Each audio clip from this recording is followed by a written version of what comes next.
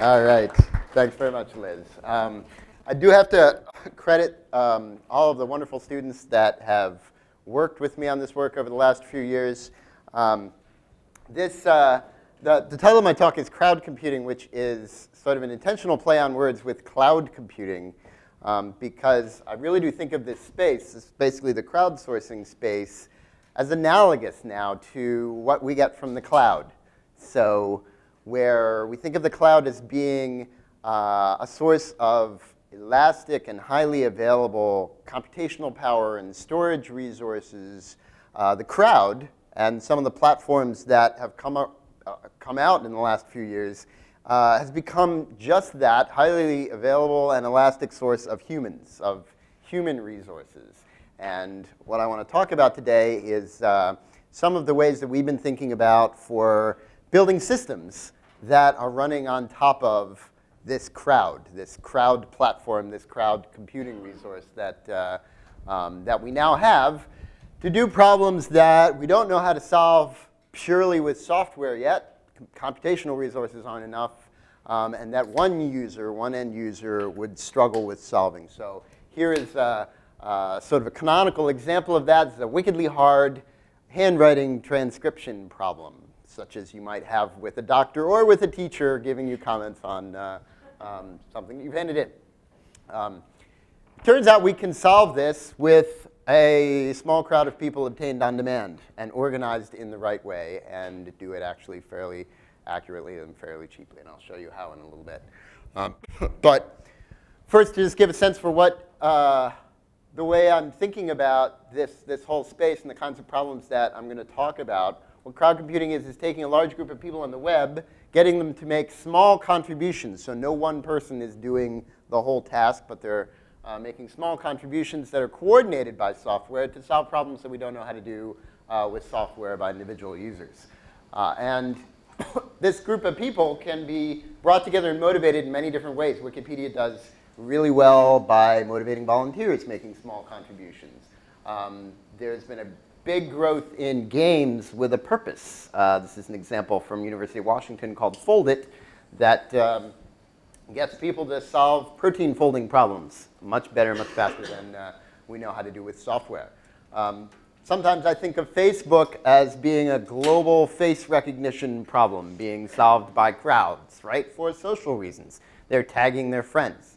Uh, a lot of systems I'm going to talk about today use paid crowds. Particularly, we draw a lot, we build a lot of our prototypes on top of Amazon Mechanical Turk because it is a very convenient utility for um, experimenting with uh, crowdsourcing and, and crowd computing kinds of systems.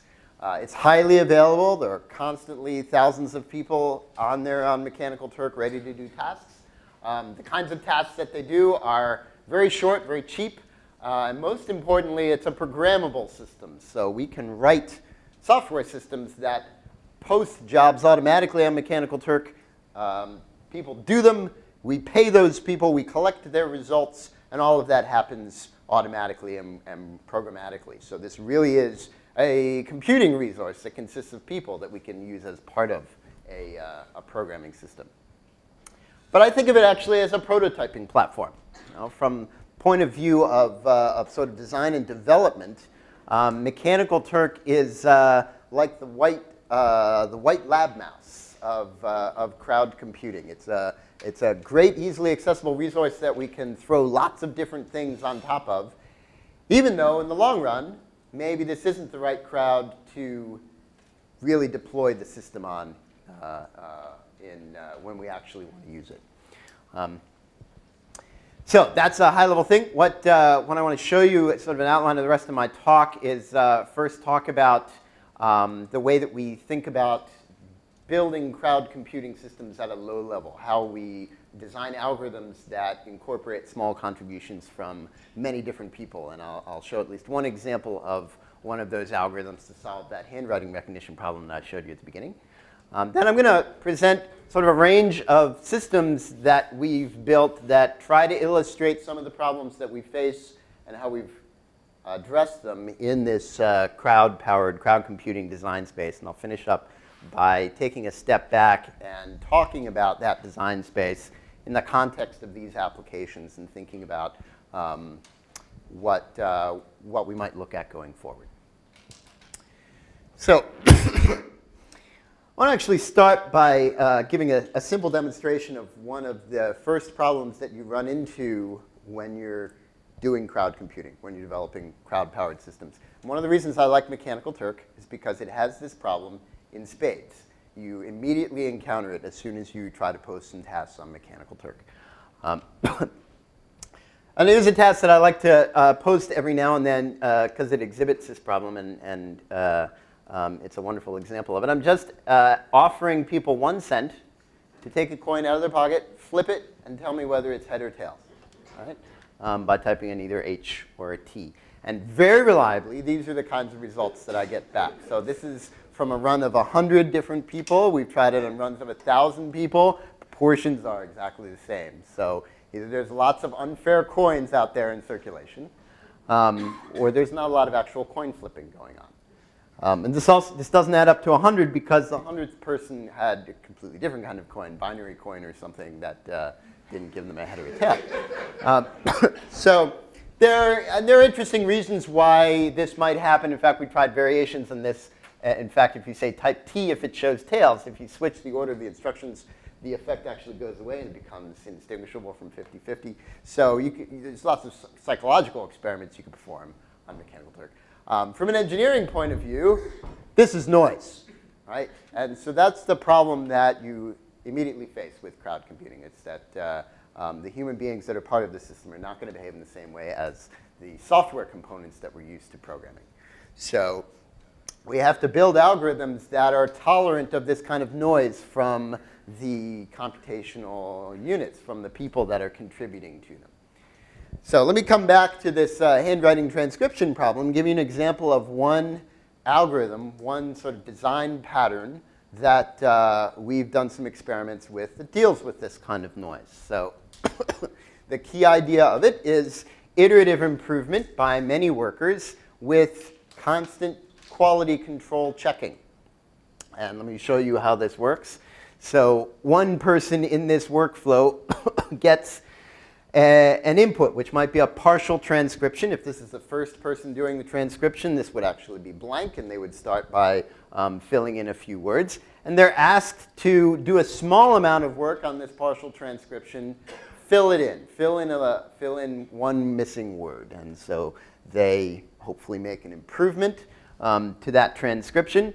And then to make sure you know that this person is not being noisy, is actually flipping their coin, is actually uh, um, making an effort here, we take the, their input partial transcription and the hopefully improved one that they produce, and we pass that to a small group of voters. And we ask that group of voters, which of these is a better transcription, better partial transcription of what you see up there. And um, they have two to choose from, and the highlighting here is just showing them where those two uh, transcriptions differ from each other. And we randomize the order of those two so that it's um, sort of not obvious, immediately obvious which one uh, was the input and which one was the output. And we collect three votes from that, and the winner of that vote goes on to another stage of this process. So we sort of uh, uh rinse, lather, and repeat um, until we get to a point where we've got it all filled in.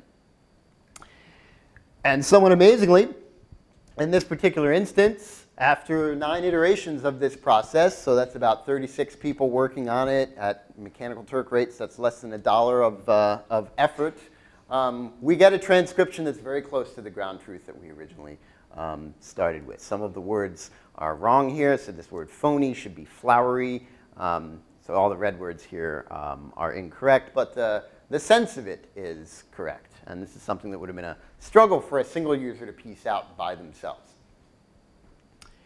Here's another example. So this is printed text that has had a Gaussian blur applied to it. Um, I have a lot of trouble getting anything out of this. But uh, if you squint your eyes a little bit, you can sort of make out some words. And apparently there are people in Mechanical Turk uh, who can figure this out um, because eight iterations of that process I just showed you um, transcribes it almost exactly right, only this word is wrong. I think it should be wedged instead of embedded. Um, so the reason that this is working is because we've got a diversity of different you know, eyeballs and brains looking at this who, uh, who can see things that others can't. Um, and also because they're getting access to different amounts of context. You know, someone who is deeper into this uh, iterative process um, has some of the words filled in already so they can use their common sense in those words um, to, uh, to be able to figure out what's going on. So that's sort of an example of uh, a simple but effective crowd algorithm that sort of shows the power of using even very small contributions, just transcribing a few words or voting on which of these is better, um, to do something very powerful.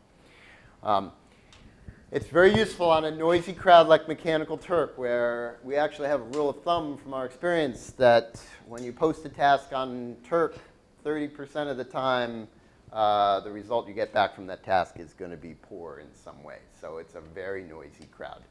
Um, some of that poor work is actually being done by spammers, people that are um, just trying to get paid without actually doing anything. Um, that's a fairly small number, but the rest of it is um, people who just don't understand or people who uh, um, are not trying perhaps as hard as they could. Other crowds may have less noise and you may not need as much um, uh, voting. In fact, um, there's some nice work that built on top of this algorithm done by uh, um, Dan Weld and his students at University of Washington that showed that in fact you don't need this, you don't need the first voting step. You can have somebody uh, start it off and then somebody immediately improve it and you will uh, still get a reasonably good result with, uh, with fewer votes in the middle. Um, you can optimize this by removing some of the quality control. One of its problems, and this is, uh, this is going to be the next challenge that we're going to face in crowd computing, how do we make these things run quickly? One of its problems is that this is a very slow process because it's serialized. Um, we wait for this person to work, then we have to wait for all three of these people to vote, um, or at least two of them to vote if they both agree. Um, then we wait for this person to work, and so the serialization of all of the uh, human effort here means that one of these transcription processes typically takes an hour or two to complete to get through those eight or nine iterations. Um, and then the third thing to think about for a crowd algorithm is what's driving it, what's moving it, what's powering this, uh, this crowd to actually get the work done. In Mechanical Turk, that's very easy to quantify. It's just how much did you pay them. Um, other crowds may need other incentives, may need other reasons to participate, and that may affect um, how you design the system and how you design the algorithm. And we'll uh, come back to that uh, later when I talk about another system that we built on top of a crowd that's not Mechanical Turk and needed other kinds of incentives. So that's our first example of uh, what we call a human computation algorithm, something that involves small contributions from uh, a whole group of people. We'll see more instances of these kinds of crowd algorithms as I move through and talk about some of our other systems. Starting with um, this one, which uh, is a very practical problem for those of us in academia where we have arbitrary um, page limits on proposals or on uh, conference papers that we have to submit. Um, and so imagine that you're half hour before a deadline, as some of the people in this room are, um, and you're over length, right? So you got a 10-page limit, and you're over the length, and you've already played all the tricks with shrinking the margins and shrinking the font size and the references, and um, can't get any more out of it that way. And you, as the author, really ought to be spending your time not shrinking the paper, but getting the content right, making sure that it's actually going to get accepted but it gets accepted for what's, but the content that's in it, not for the length. It can get rejected for the length, not, not accepted for it. Um, so what we want to do is throw a crowd at this problem so that the end user, the author, can focus on uh, what they need to, and the crowd can be taken care of, bringing it down to length. Uh, and we built this thing into uh, um, a plugin in Microsoft Word, so that's what we're seeing right now, the Microsoft Word user interface. And um, this is the part of the uh, uh, text that, that we've proposed to shorten. Um, and it sends that bit of text out to a crowd and gets back a bunch of suggestions. So this is the original text here. This is uh, um, going to be the shortened version of that text over on the right. And each place where you see purple is a place where the crowd has suggested um, a way that you can shorten that. And we give you a slider, give the end user a slider that they can use to actually drag the length of their paper down to where they need it to be so that it's now on 10 pages. Right? And the user interface shows you, shows the end user the substitutions that were made um, in order for that to happen. So an important piece of this, and I'll come back to this when I talk about the design space at the end uh, um, of the talk, uh, is that we've got a user interface here that is under the control of an end user, of the requester, of the person who sort of is, has the global picture of the problem that needs to be solved. Um, and that user interface is sort of usefully aggregating uh, the contributions that the crowd made in a way that the, uh, the end user can understand and, and control. So how does this work? well, in order to um, in order to get good quality answers back from the crowd, good quality suggestions about what to edit um, from the crowd, um, we put the and we put the text through um, a process we call find, fix, verify, where um, first a small group of people looks for places in the text that are fatty and that could be shortened. All they're really doing is highlighting um, sentences or phrases that are wordy. And to get uh, uh, a quality here, we, um, we look for agreement. We look for essentially common votes between two members of the crowd about a particular wordy or fatty place. Those, any patch that has at least two people voting for it um, passes through to the next step, which asks a different group of people to make suggestions about how to make this wordy phrase shorter. So we collect suggestions from a bunch of people. Um, and then, again, to deal with the fact that some of those suggestions will be bad, we pass those to a, uh, a voting step where a different group of people um, selects the ones that um, basically are the worst, the, the, the, ones that introduce errors. Yes, question? So I, I guess I could think of two things to say. Like if I'm going to find fatty text, I probably am thinking about the edits as I'm going along. I mean, that's how I would do it. I'm, I'm, I'm just wondering whether the people who found them actually already thought they had a fix. Um, that may be true, but uh, um, I mean, it may not be true. It, well, yeah, you, there are there are actually several ways that you can that you can read, right? I mean, you can see that something is uh, is wordy without wanting to uh, without taking the extra step of how do you actually rephrase it. Um, so it does make the task easier. Although that seems pretty automatable. I mean, I was thinking like maybe long words and a lot of prepositional phrases or passives or mm -hmm. there are probably syntactic constructions. I actually think that this is an automatable task. Um, the issue is that there are no corpora for it yet that we can train on. So, and I'll, I'll come back to this also when we talk about the design space at the end. Um, that the process of you know, identifying these wordy places and making suggestions about how to improve them will produce a, uh, a corpus of examples that we can then train um, a natural language processing system to be able to find a lot of these wordy places automatically, right? And use that then, in fact, as a complement to the crowd to, uh, um, uh, to get a higher performing system. Yep. um, good. So let me talk a little bit about how it performs. Um, so with the parameters that, uh, that we chose, um, which are about uh, three to five people for each of those steps, um, we end up cutting a typical text by about 15%. So that would take an 11-page paper uh, roughly and make it into a 10-page paper. And the cost is uh, comparable, when we run in a Mechanical Turk, it's comparable to what we would pay a uh, professional proofreader, about $1.50 per paragraph, um, to do a similar kind of editing.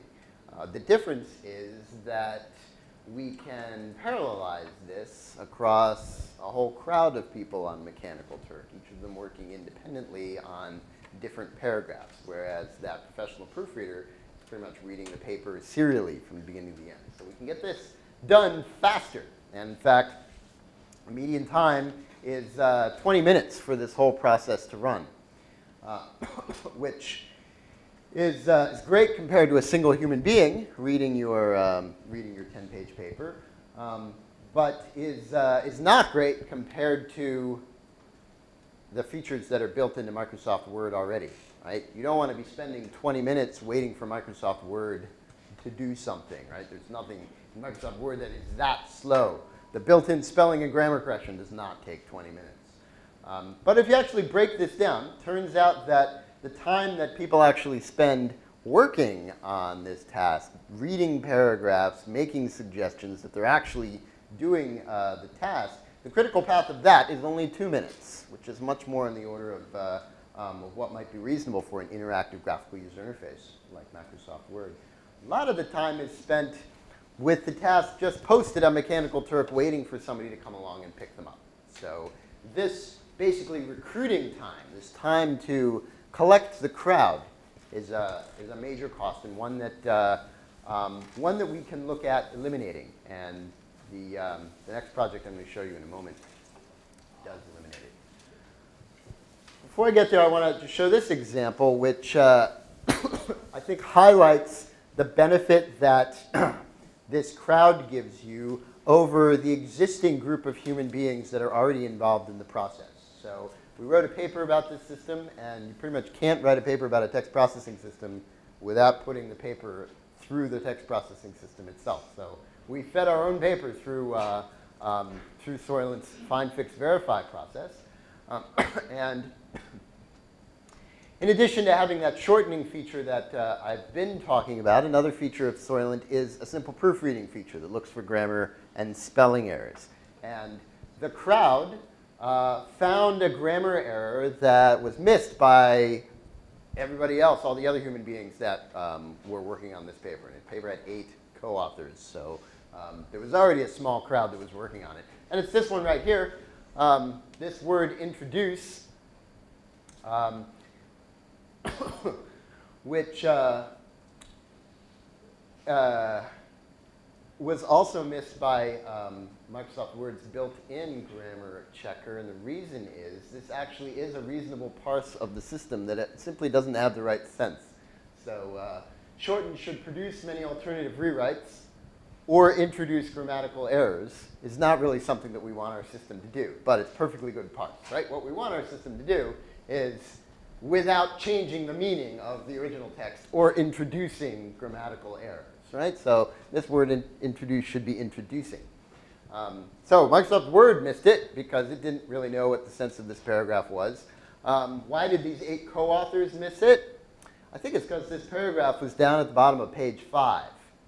And when you proofread a paper, you typically read it from page one. By the time you get to page five, you're tired.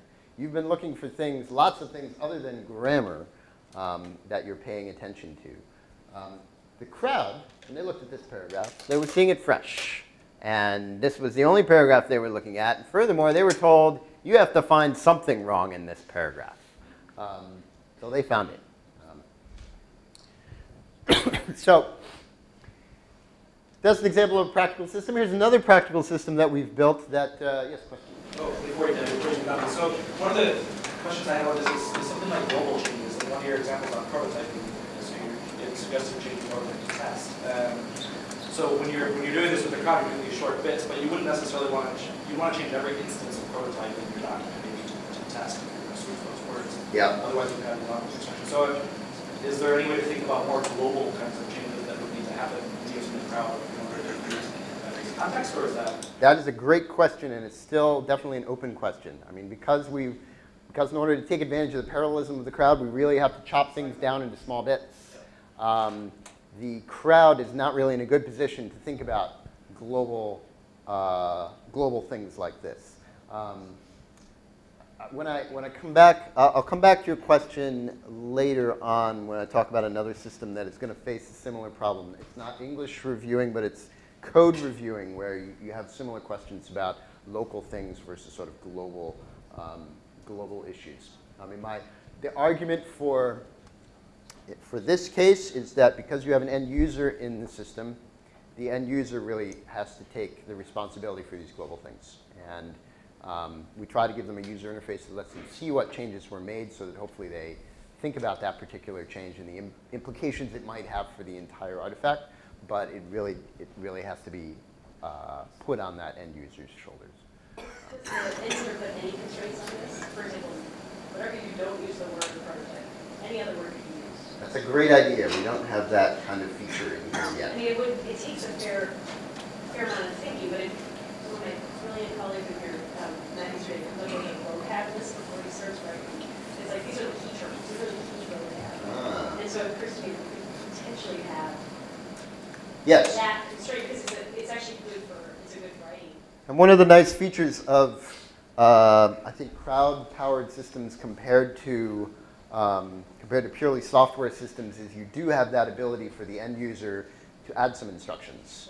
Right. Um, Soylent, these features of Soylent don't have that built in, um, but uh, you know we all know how to write instructions to people, and in fact we, we have some features in Soylent that actually a really bad instruction writer, so I would write it, we're not perfect. I would worry that in some ways, some ways, then you're, you're relying on. I think we're better instruction writers than we are programmers as a whole. So if we're doing that comparison, if you let me make that straw man comparison, um, uh, we're a step above that. um, here's a second practical system that, uh, that we've built, and it's actually practical in the sense that uh, tens of thousands of blind people have this installed on their phones, and they're asking dozens of questions with it every day. Um, this is uh, um, this is built by Jeff Bigham from University of Rochester when he uh, was visiting my lab a few years ago, um, and he, he and his group have continued to uh, to evolve it and deploy it and support it. Um, system's called VizWiz, and the idea is that a blind person using their iPhone um, takes a picture of something in the world. Maybe it's a uh, can in their cabinet, maybe it's uh, you know a couple of doors in front of them, and then they speak a question about it, and that picture and the audio of the question and also a transcription, uh, um, uh, speech-to-text transcription of the question um, is sent to a crowd. And that crowd types in answers that go back to the uh, blind person's phone and are read aloud, right? So it's a very simple use of a crowd. Um, and in fact, it has virtually no quality control here, right? The quality control now is sort of put entirely into the end user's um, responsibility. Um, and it's up to them to sort of listen to all the answers that come back and decide what the sort of general sense of the crowd is uh, um, for, this, for this question. But one of the things that VizWiz works hard to do is uh, get the speed of question answering um, as fast as possible. And so it plays a number of tricks. Some of those tricks are kind of mechanical Turk-specific tricks, like optimizing where their tasks appear on the list of tasks available to, uh, um, to workers. And some of them related to uh, sort of uh, uh, optimizing systems issues like uh, hiring workers a little bit before you need them. So even before the question is ready, you can hire workers and have them, um, have them actually answer old questions to sort of get them up to speed on what it is they're going to do. And then as soon as the um, blind person is finished taking their photo and speaking their question, you just slot that new real-time question right there into the, uh, into the worker's sequence, and they answer it much more quickly. So these numbers here are the time that uh, took for the answer to come back. So simple questions like, are there picnic tables here, can come back very quickly. This is like 13 seconds. Hard questions, and this is a hard question because blind person has taken a fuzzy picture of the wrong side of the can. Um, turns out blind people don't take very good pictures. That's uh, one thing that we learned from VizWiz. Um, they, they take longer to come back. So this is 180 seconds, about, uh, um, about three minutes to come back. But um, they're still also actually very good. So uh, again, this sort of shows the, um, the great problem-solving skills that we know that human beings have and that come out in, in things like this and also came out in handwriting transcription. I guess this is a great place for a little dialogue, you know what I mean? Sure. You should actually send back things saying, please turn the can. Oh, that, you do see those things. So, and you see a bit of that here. The image is difficult to see, but you also see people making suggestions like, you know, you need to pull the phone away from it a little bit, or you need to uh, turn on more light, or I can't see the whole can, can you move to the right? Um, those, those kinds of feedback um, definitely do happen. Um, For the design reviewer, can you tell them how you identified this problem? It's a very interesting problem. Blind people understand How do you Yeah. this context? How do you discover the context? The best person to ask that would be Jeff Bigham, Okay. because he's, uh, he's immersed in this space, he does a lot of work on assistive technology, so um, I, he would be the one to be able to talk to you about the genesis of the idea. Um, My sense of it is that it's, it, it comes from sort of observing that blind people already need to do these things with sighted, sometimes sighted strangers. They ask these kinds of questions to someone who's right next to them. Um, so this is sort of a way, how do you virtualize that sighted stranger? How do you make them available uh, you know, in the blind person's pocket without relying on having them there in real, in real life? Can I ask a question slide? You talked about how on the Amazon site you used money as an incentive. And I look at someone taking nearly 10 minutes to identify a can of beans. And I'm thinking, what incentivizes someone to do that? Um, Now, you're doing it for a blind person or a visually impaired person, so maybe you're just altruistic and you want to help somebody out. But what does this website or, or or what, does this tool use to incentivize? And is there anything linked to the difficulty of the task or the quality of, of the upfront problem? Okay, the, the first thing that I want to uh, just sort of fix here is that this, this uh, uh, 10 minutes is the time that it, that this answer arrived back on the blind person's phone. This doesn't actually mean that somebody was working on it for that time. It was probably actually presented to a succession of people on Mechanical Turk who gave up on it. Um, and it, it keeps trying to recruit more people to answer it until it gets an answer. So it's not necessarily 10 minutes worth of time. Um, um, we did prototype this on top of Mechanical Turk, but we're also building up, Jeff's lab is also building up a network of volunteers who are willing to do this um, for free, uh, you know, again, for, for altruistic reasons. Um, also, Jeff, Jeff's also interestingly um, looked at comparing um, the end user's attitude, um, and this is where you have to start thinking about the kinds of crowds that you have behind it. The end user's attitude towards asking questions on Mechanical Turk, where the audience is anonymous, um, strangers, people who don't know the blind person and vice versa, um, and paid for their work, um, against asking the questions of the end user's own social network of, on Facebook. So they have a back end for this that will take this question, simply post it as a Facebook status, and collect the comments from it as, uh, um, as answers that come back. Um, and what they found is that for many questions, blind users are much more comfortable asking them of the stranger crowd, of the Mechanical Turk crowd, than they are of asking on um, Facebook. And for a number of reasons, some of them related to privacy. Um, you know, you don't really want to, your whole social network to know that you're asking about this rash that's on your leg. Um, but uh, some of them also related to, uh, you know, not knowing how much uh, social capital I'm sort of consuming by spamming my friends with, uh, with all of these questions. And some of them also um, related to the blind person wanting to have a sense of independence that uh, um, they're sort of much more conscious of when they're using their social network than they are when they're using something that feels much more like a, a, system, a computer system, like mechanical. I hope that sort of addressed some of the questions. Um, so what this system, from a systems point of view, it's a very interesting application, um, and I'll come back uh, a little later to, to some of the ways that this is uh, an interesting, distinct application. But from a systems point of view, what it was trying to do was push this speed, you know, which I showed you in the previous uh, uh, system was on the order of 20 minutes to get uh, results back from uh, Find, Fix, Verify. We're getting things back in, you know, tens of seconds. Can we push that down even, even lower? Can we get uh, um, a crowd-powered system, something that's human beings behind it in the back end, and that feels much more like an interactive application like we're used to running on our, um, on our smartphones. And so here's some of our um, most recent work done by um, Michael Bernstein, who was a PhD student in my lab um, last year. Um, um, that is a crowd-powered camera. And the idea is to find just the right moment when I should have clicked the shutter in order to capture a frame.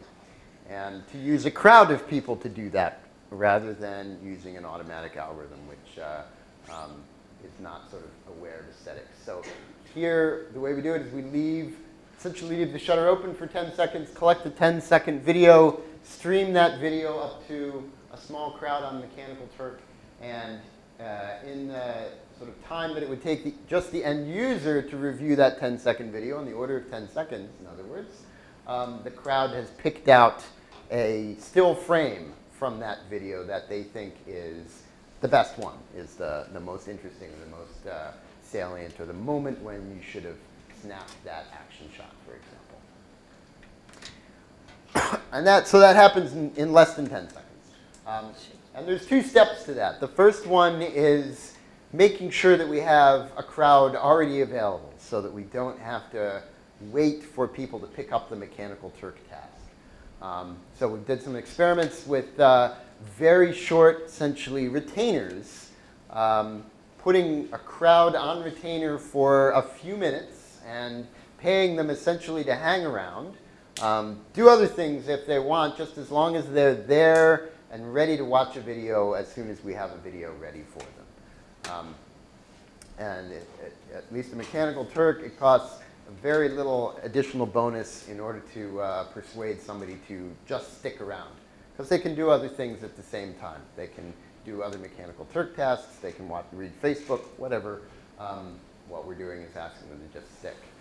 Uh, but um, they don't always stick around. Uh, and um, what we found is that uh, if, if we want to get a crowd of people back within um, within two seconds, so want them to start doing something within two seconds, uh, and they've been waiting around for five minutes, then only about half of them are going to come back within, uh, within two seconds. But that means we recruit twice as many people as we actually need, six people instead of three.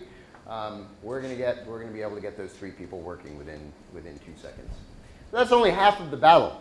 So having the crowd already there and ready to, uh, ready to do something is, uh, um, is good, but uh, in order to actually get an answer back, you have to um, coordinate that crowd so that they work together quickly. Um, and in this, uh, in this uh, video space, this, this frame selection space, what we've come up with um, is a way to um, to get them to agree on a good frame um, in less than 10 seconds by first randomly positioning their sliders within this video. So the video is not actually playing, it's paused, but they can scrub around using sliders. Um, so we randomly position their, uh, their sliders and observe how their sliders are moving around as they examine the video. And when some fraction, typically we use a third of the crowd, dwells in the same neighborhood of the video for some um, particular duration of time, we use two seconds in our experiments, um, we use that as a signal that, that something in that neighborhood is interesting. And we actually compress the video. We, we crop the video down to that neighborhood and bring all of the crowd now into that neighborhood So we're now all of the crowd is just examining this smaller segment of the video. And then we do that recursively um, until we get down to a single frame. So it's a way to combine low latency and quality control into the same process and get a good result um, uh, out in a very short amount of time. So here's a comparison of that algorithm that I just described. Um, and what we're seeing here are, uh, this is a histogram of the running time to find a, uh, a final best frame. And the rapid refinement algorithm, is about 12 second mark here, um, runs uh, predictably quickly and with a narrow, um, with sort of a narrow spread. Compare that against VizWiz's approach. So with VizWiz, you know, a trusting blind person, after they, answer, after they ask the question, they might just take the first answer that comes back. Um, but even the first answer that comes back has a longer spread than, uh, than rapid refinement does. Um, and if we use a traditional crowdsourcing quality control measure like the handwriting recognition process at the very beginning where we collect a bunch of answers and then vote among them, um, we're basically waiting for the slowest people in our crowd to make the decision. And that takes considerably under 45 seconds to do with a um, video. So we're getting faster results.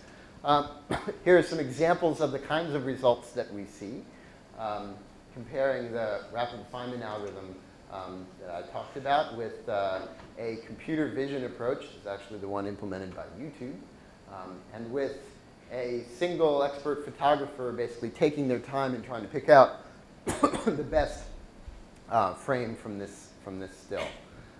Um, so in the really good cases, um, rapid refinement agrees pretty closely with an expert photographer.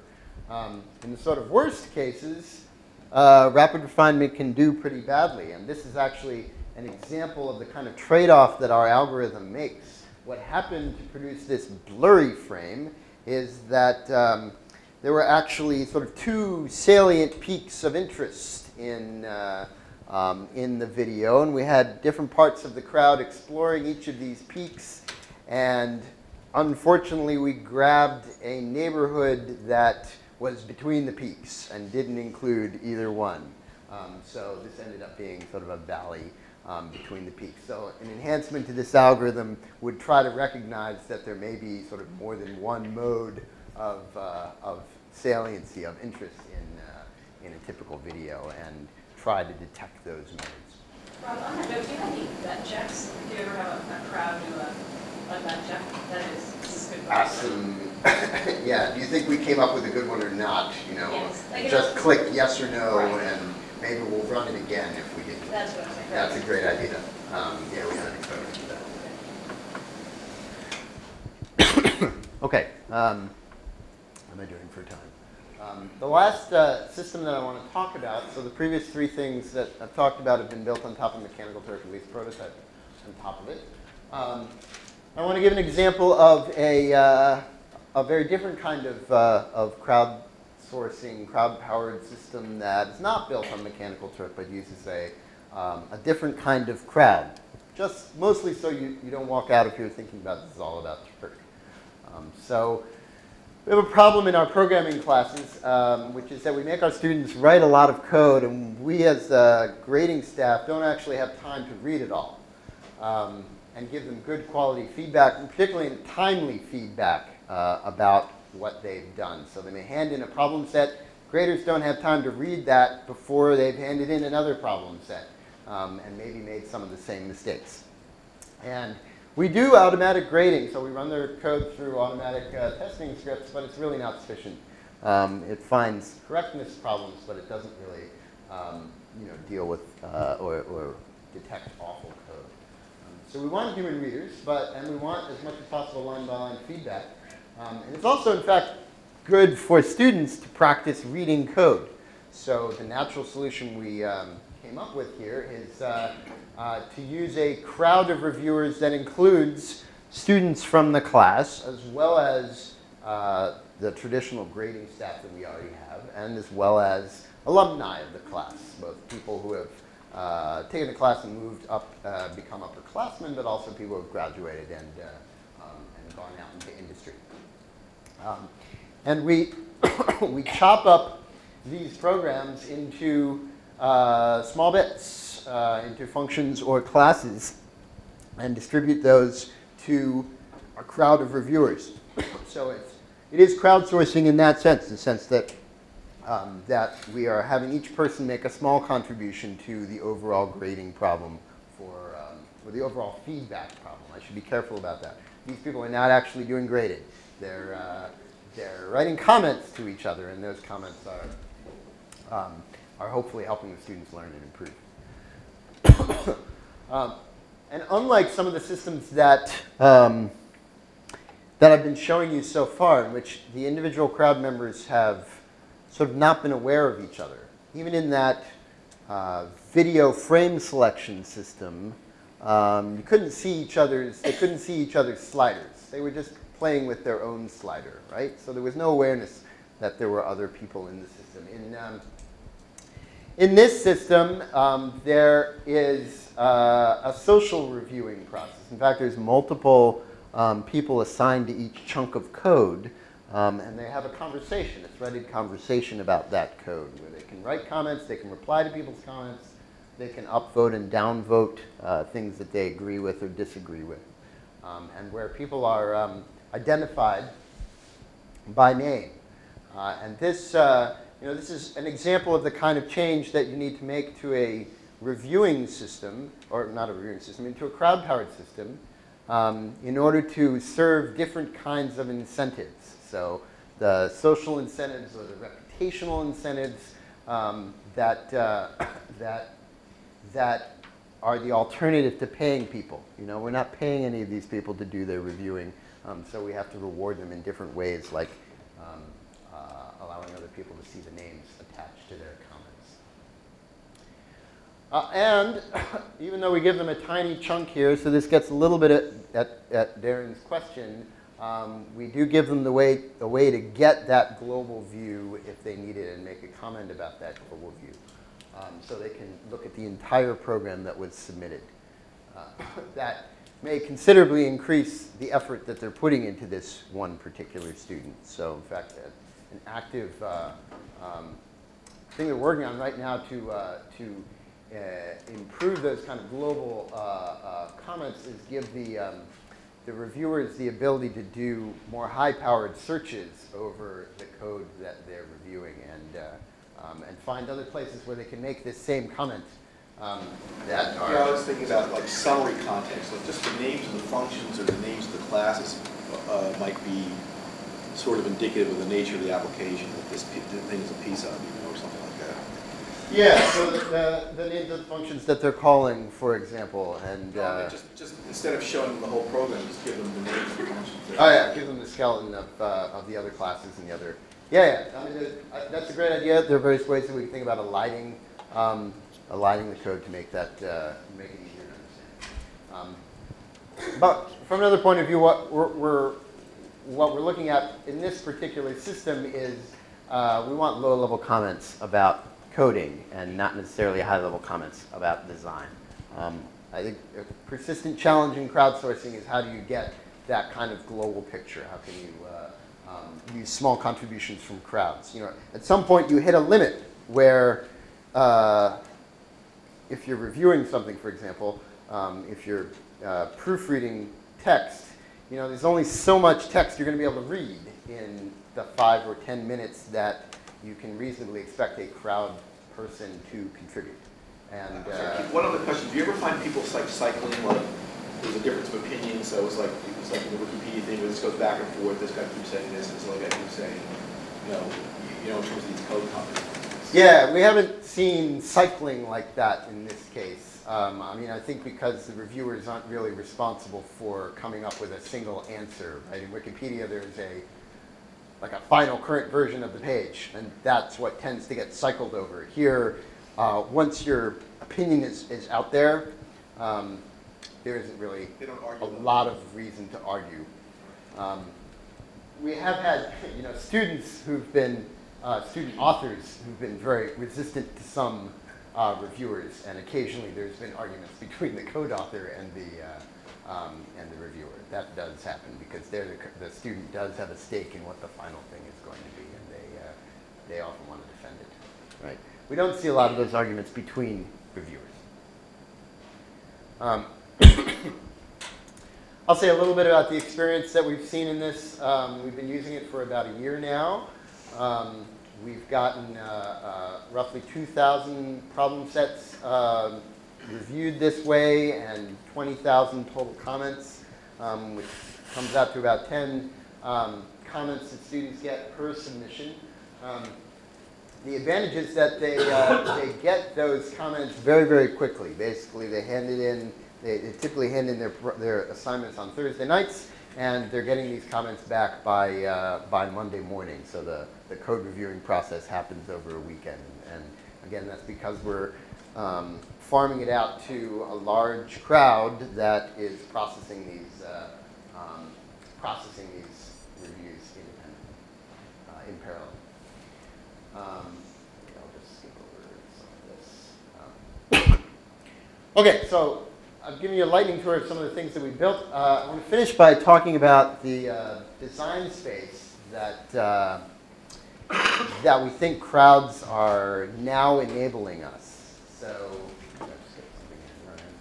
um, and that, as I was thinking about that, about that space is having three dimensions. You know, one is, is this end user, the one who wants the work done. So this is like the author of the paper or the, um, uh, the blind person asking the question. Uh, another point in this space is purely software solutions to help them get that done. Artificial intelligence, let's say. So a, uh, a purely computer vision um, algorithm that tries to answer the question, the blind person's question, would, uh, would go along that dimension. And then there's this crowd space, drawing on people from out in the crowd making small contributions. Uh, One thing that's interesting about crowd computing is now it sort of enables us to think about traditional prototyping techniques like Wizard of Oz, you know, the idea of in the lab using a human being to simulate what we don't know how to do with artificial intelligence yet, or what we're thinking about building if we could. Um, we can take that technique, which used to be used, usable only in the lab, and think about actually deploying it. So VizWiz is a deployed Wizard of Oz system, right? One that uh, is actually being used by blind people in context in their daily lives on tasks that they actually need. Um, so, and what we're collecting from that is a corpus of questions, of uh, images and spoken questions that actually correspond to those blind people's needs. So we can take that data and then train up AI that is really specific to that task. And we can also see that uh, being a potential benefit of, uh, um, of the Soylent system, the, uh, the, the, word processing system, and, uh, and of the, uh, the crowd-powered camera system as well. So we can think using a crowd, about using a crowd uh, as a way to push a prototype out there in the world and see whether it actually works. um, I think in this space, and I, I, I, mentioned this before in the context of, of, sort of global decisions and global overview, that uh, um, the end user still plays an important role, and we really need to think about giving that user an interface a user interface that lets them have control over the process and understand what's going on in the process. And um, I think of the slider in, uh, um, in our Microsoft Word plugin as being a great example of this, that you want to give them a good user interface that's appropriate to the um, task that they want. And they also have final responsibility, and, and really they're there to provide the, the global picture, the global coherence. This isn't all about Mechanical Turk. It's a great crowd for prototyping things on, but uh, it may not be uh, the eventual crowd that you want to deploy it on, and other deployment crowds may involve other kinds of design considerations that affect the end user. So I mentioned blind people's reluctance to uh, post things on their Facebook page, um, and you know our use of, uh, of crowds at MIT that required us to change the way we designed the system in order to support these um, different kinds of incentives other than money. We've learned to think a little bit about how to do crowd system design. So some of these algorithms that I talked about, like find, fix, and verify, and the iterative uh, improve and vote algorithm. Dividing the work into small chunks gives you faster, um, faster processing, and you have to expect noise and design for noise. And I love Mechanical Turk for that reason, because you really do get noise right away. Um, but interesting thing in this space also is these crowds are basically humans. So you have to think about when you're thinking about an application that's going to be built on top of a crowd, what is it that this crowd, that these people out there are actually providing that the end user can't already do themselves? What are the differential abilities or competence for um, just diversity that, uh, that the crowd is providing? So an example of that in the Soylent system where um, the crowd, because of their the different way they were approaching this problem, was able to do something that the authors of the paper were not. Um, in VizWiz, of course, the crowd has eyes, and the, uh, the end user does not. So here's some new, uh, um, some ongoing work that, that we're doing, and uh, sort of uh, some of it sort of launches off of these existing, uh, uh, these existing projects. So um, thinking about VizWiz, which as a blind person is the end user, and sighted people out on the web it's a crowd. Um, we're evolving that to help um, other kinds of people with situational disabilities, like a person behind the wheel of a car um, is very situationally disabled, basically blind and motor impaired and attention impaired with respect to everything that might happen on their phone, right? Um, so uh, we're designing systems that will allow people from uh, hired from a crowd to be able to help a driver with their information needs. Um, from uh, um, from the sort of Soylent point of view, from the uh, word processing point of view, we're to have to think about programming and how a uh, sort of uh, a, a, a single programmer can draw on small contributions from other programmers um, for a short time, uh, hired from um, a more expert crowd. So we, we're not using Mechanical Turk for this work. We're using uh, crowd platforms that have programmers, people with higher skills. And there's still a bunch of open questions, and we've touched on a few of them already, like the, uh, sort of the, the, the work size limit that inhibits the crowd members' ability to perceive global things. Um, designing uh, systems that provide the right incentives for different kinds of crowds. Um, how you can take advantage of and use crowds that are not sitting at a desktop or a laptop, but are instead out in the world uh, and moving around with their mobile devices, crowds that are more experts. I'll give an example of that, people with skills in programming. Um, how you can do smarter routing of tasks. Right now, Mechanical Turk, for example, just has a big pile of stuff that people can do. And it's sort of up to the crowd to sort through it and find something that they want to do. Very stupid way to work, but that's the sort of state of the art in uh, um, crowdsourcing systems right now. And how do we actually do you know, the promise of deployable Wizard of Oz is that we'll be able to transition from a crowd-powered system to a more AI-powered system, or at least a hybrid. Um, how do we actually do that? How does that work? Can we do it automatically? Uh, so uh, I think I've gone a bit over time, and I apologize for that, but uh, I hope I've given you a sense for um, what the possibilities are in this space.